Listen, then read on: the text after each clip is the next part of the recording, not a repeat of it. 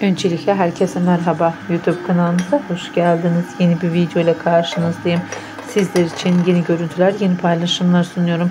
Paylaşımlarım ilk ve son dizisinin başrolüne çekilen Hazal Subaşı ve partneri Ulaş Tuna Sepet'in olacak yeni bölümleriyle herkes tarafından beğenilen ikili dün akşam programa konuk oldu. Hayranlıkla izlenilen dizinin başarılı partnerlerinden güzel görüntüler izlemek için kanalıma abone olup like atmayı unutmayın. Şimdilik benden bu kadar. Yeni videolarımda yeniden buluşmak üzere. Hoşçakalın arkadaşlar.